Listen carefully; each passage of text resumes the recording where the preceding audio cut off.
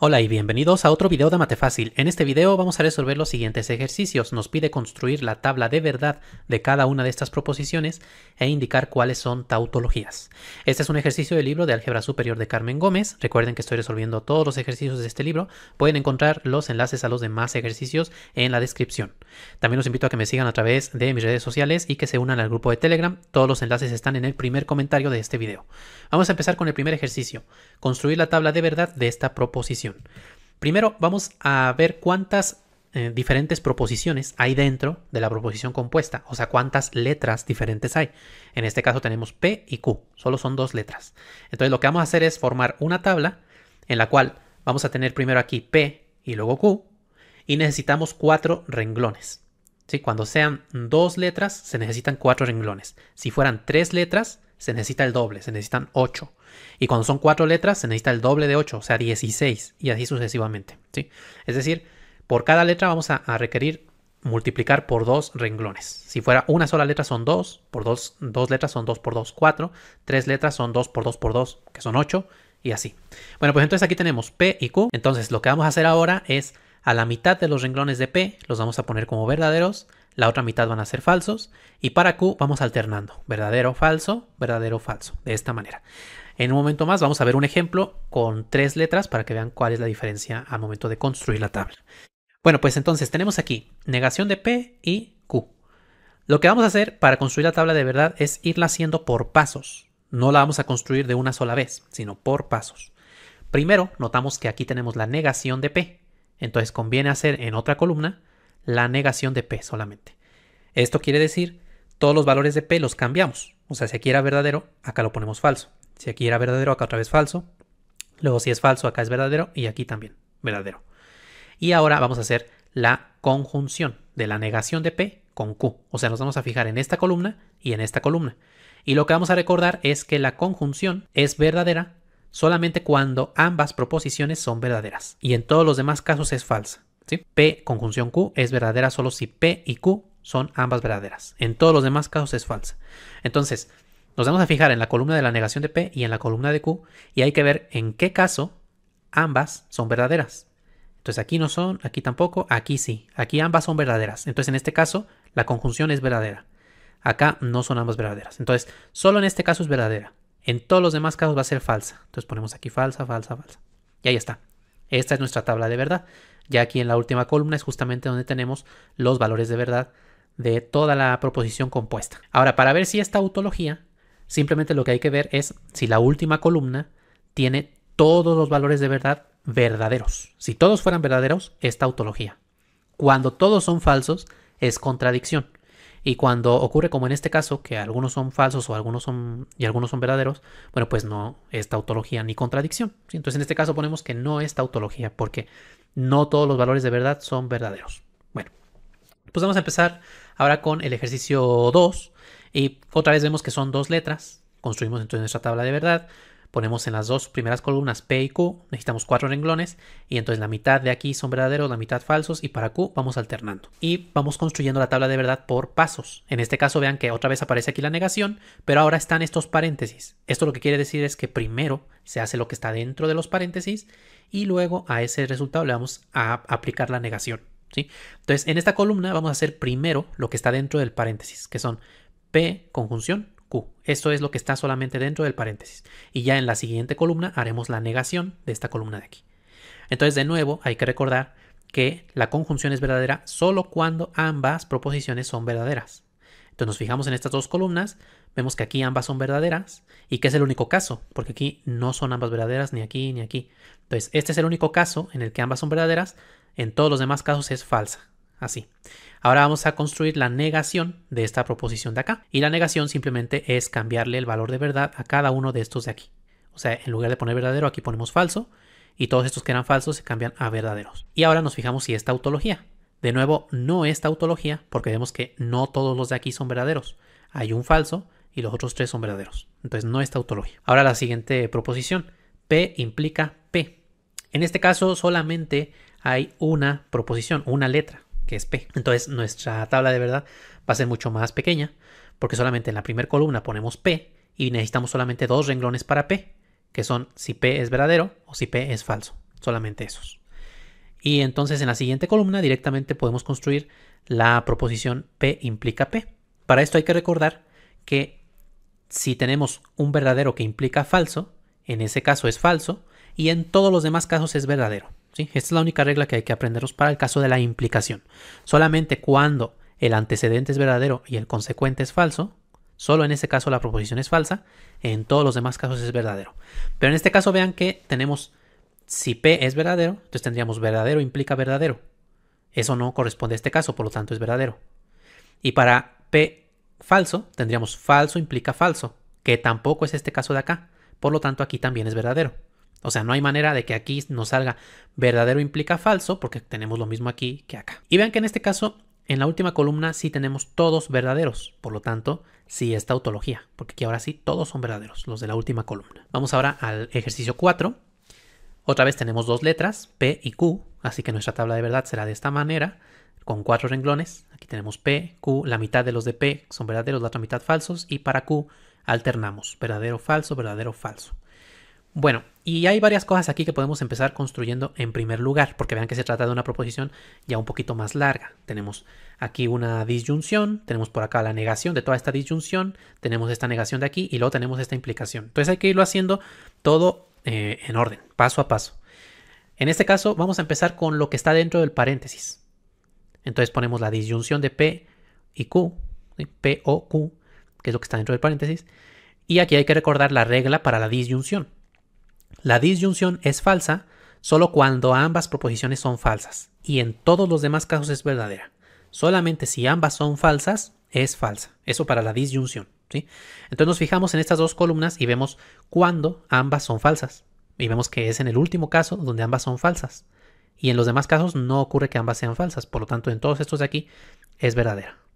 La disyunción va a ser verdadera cuando al menos una de ellas, una de las dos proposiciones, sea verdadera. Si ambas son falsas, entonces es falsa. Bueno, pues ahora podemos hacer la negación de esta disyunción. Eso lo podemos hacer aquí. Simplemente es cambiarle el valor de verdad a cada una de estas eh, proposiciones. O sea, aquí en lugar de verdadero ponemos falso, luego aquí falso, aquí también falso y aquí pasa a ser verdadero. Ahora, en esta otra columna podemos hacer la negación de P antes de hacer la, implicación. Primero la negación de P. Entonces la negación de P es cambiarle el valor de verdad a los que están aquí en la columna de P. O sea, este y este son falsos ahora y este y este son verdaderos.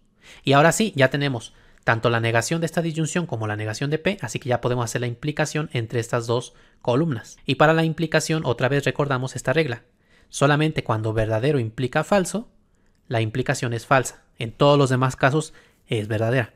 Y en este caso vean que es importante el orden. Debe ser primero el verdadero, luego el falso. Si fuera al revés, si tuviéramos falso implica verdadero, en ese caso es verdadero. Pero solamente cuando es verdadero implica falso, en ese caso es falso. Entonces nos fijamos entre estas dos columnas, este es el antecedente, este es el consecuente, así que cuando aquí tengamos un verdadero y acá tengamos un falso, vamos a tener que la proposición es falsa. Entonces vamos a ver aquí, ¿cuándo es aquí verdadero? Solamente en el último caso.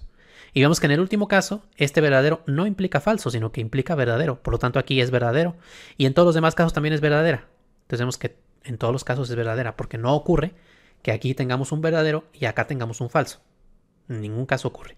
Por lo tanto, todos los casos son verdaderos y entonces en este caso también tenemos una tautología. Tautología quiere decir que sin importar cuál sea la proposición P y cuál sea la proposición Q, sin importar cómo sea, esta proposición compuesta siempre va a ser verdadera. Eso es lo que quiere decir. Bueno, pues ahí tenemos entonces ya el ejercicio 4. Vamos al ejercicio 5. Aquí tenemos ahora tres letras. Tenemos P, Q y R. Así que en este caso vamos a necesitar una tabla más grande, con más renglones. ¿Cuántos renglones? Bueno, pues en el primer renglón ponemos las proposiciones P, Q, R. Y luego a partir de ahí necesitamos 8 renglones, porque son 2 para P. Lo multiplicamos por 2 para tener P y Q. Entonces hasta ahí llevamos 4 renglones. Y luego volvemos a multiplicar por 2 para tener a los 3. Entonces 2 por 2, 4, 4 por 2, 8. Son 8 renglones los que necesitamos. Si tuviéramos 4 letras, necesitaríamos 16 renglones. Y sería una tabla muy grande. ¿sí? Pero bueno, en este caso son 8 renglones, como pueden ustedes aquí contar. Y lo que hacemos para P es los primeros cuatro renglones los ponemos verdaderos y los siguientes cuatro renglones son falsos. Para Q ponemos primero dos verdaderos, luego dos falsos, luego otros dos verdaderos y luego otros dos falsos. Y para R alternamos verdadero, falso, verdadero, falso, verdadero, falso, verdadero, falso. De esta manera lo que conseguimos es tener todas las posibilidades para P, Q y R. O sea, que los tres sean verdaderos, que P y Q sean verdaderos y R falso, que P sea verdadero, Q sea falso, R sea verdadero, etc. Todas las posibilidades quedan ya de esta manera aquí en la tabla. Y ahora, para poder construir toda esta proposición, primero vamos a hacer lo que está en el paréntesis. Q implica R. Y hay que recordar la regla para la implicación. Solamente cuando tengamos verdadero implica falso, solo en ese caso es falso. En los demás casos es verdadera. Entonces, fijándonos en Q y en R, hay que ver cuándo Q es verdadero y cuándo R es falso. Entonces aquí tenemos Q verdadero, acá tenemos R falso, entonces en este caso va a ser falso. Buscamos otro, por acá tenemos otro verdadero falso, entonces aquí también es falso. Y son los únicos, vean que ya no hay ningún otro caso en el que Q sea verdadero y que R sea falso. Por lo tanto, los demás casos de aquí que nos quedan son todos verdaderos. Y ahora hacemos toda la implicación completa. P implica Q implica R. En este caso, P es el antecedente, o sea, nos fijamos en esta columna de aquí, que es la de P. Y Q implica R es el consecuente, o sea, toda esta de aquí. O sea, nos vamos a fijar solo en esta columna y en esta columna de acá. Y otra vez nos fijamos cuando esta columna sea verdadera y esta de acá sea falsa. Entonces vemos que aquí tenemos verdadero, verdadero.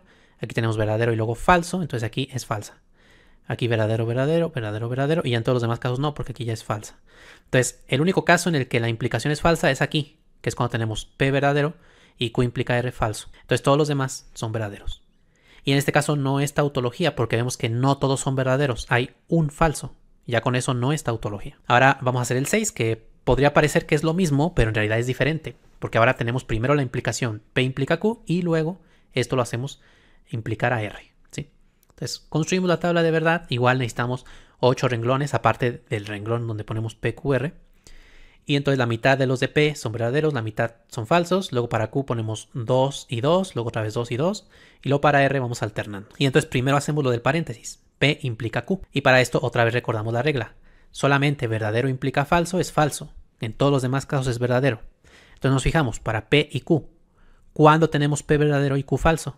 Bueno, pues aquí, verdadero falso y aquí también, verdadero falso. Entonces en estos dos casos es falso. En ningún otro caso vemos que sea falso. O sea, en ningún otro caso vemos que P sea verdadero y Q sea falso. Por lo tanto, todos los demás de aquí son verdaderos. Ahora vamos a hacer la implicación de P implica Q implica R. Y es importante el orden. Entonces, en este caso tenemos que el antecedente es P implica Q. Esta es la primera columna en la que hay que fijarnos. Y luego en la de R, esta de acá. Entonces vamos a ir de aquí para acá. O sea, hay que fijarnos cuando esta columna de aquí es verdadera y, y en la columna de R sea falsa. Entonces aquí vemos verdadero implica verdadero. Entonces eso no. Luego aquí verdadero implica falso. Entonces aquí sí vemos que va a ser falso. Luego aquí tampoco, aquí tampoco. Luego verdadero implica verdadero. Verdadero implica falso. Entonces aquí también es falso. Verdadero implica verdadero. Y aquí verdadero implica falso. Entonces aquí es falso. Y en todos los demás casos es verdadero. Entonces tampoco es tautología. Porque vemos que no todos son verdaderos. Y de hecho también podemos ver que esta proposición compuesta no es equivalente a la proposición que hicimos en el ejercicio 5. Porque obtenemos aquí unos valores diferentes a los que obtuvimos en el ejercicio 5. En el ejercicio 5 solamente uno de los valores nos daba falso, mientras que aquí hay tres valores que nos dan falso. Ya con eso vemos que no pueden ser equivalentes. Para que sean equivalentes tendríamos que haber obtenido exactamente los mismos valores aquí en ambas tablas. Y vemos que no es así. Bueno, pues ahora los invito a que ustedes hagan los cinco ejercicios restantes, 7, 8, 9, 10 y 11, los pueden hacer exactamente igual que como vimos aquí, solo que en algunos casos, bueno, pues van a necesitar hacer varias columnas, como por ejemplo en el ejercicio 11. Y si quieren ver la respuesta y el procedimiento completo, ese es un video que ya se encuentra en mi canal en la lista de videos exclusivos para miembros. Si aún no eres miembro del canal, te invito a darle clic al botón unirse, ahí puedes ver más información acerca de los niveles de membresía y tendrás acceso a varios beneficios exclusivos para los miembros, entre ellos el acceso a una lista de reproducción con cientos de ejercicios muy interesantes como estos de acá. En el siguiente video vamos a resolver el siguiente ejercicio del libro de álgebra superior de Carmen Gómez, el cual nos pide comprobar las equivalencias usando tablas de verdad. Estas equivalencias de aquí. Vamos a ver cómo se comprueba que esta proposición de aquí es equivalente a esta de acá, que esta proposición de aquí es equivalente a esta de acá. O sea que son lo mismo, aunque tengan otra forma, en realidad son equivalentes. Es como si esto fuera una especie de ecuación, por ejemplo, entre proposiciones. Bueno, pues eso lo vamos a ver en el siguiente video, cómo es que se demuestra que Estas proposiciones son equivalentes usando tablas de verdad. Pueden encontrar el enlace al siguiente video en la descripción de este video. Antes de terminar, agradezco infinitamente a todos los miembros del canal que con su gran apoyo hacen posible que siga subiendo nuevos videos y más cursos. De esta manera ustedes me ayudan a contrarrestar un poquito los efectos del algoritmo de YouTube que no siempre beneficia a los canales educativos. De verdad, muchas gracias por todo su apoyo.